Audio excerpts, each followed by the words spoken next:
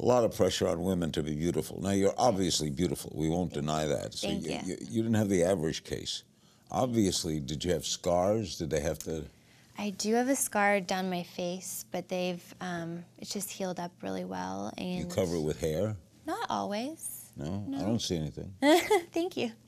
Um, there's a lot of amazing doctors that yeah have helped. Has the accident changed your perspective on beauty?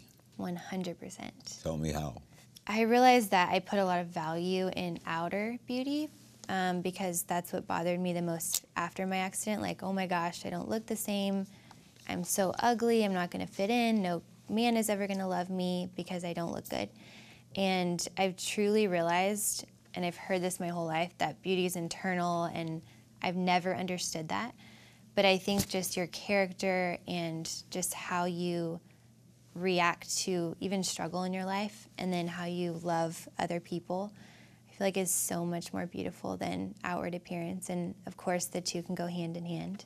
How long it take to learn that? I don't know. I feel like You never went through a period of feeling sorry and not looking really. in the mirror and saying, um, this is terrible?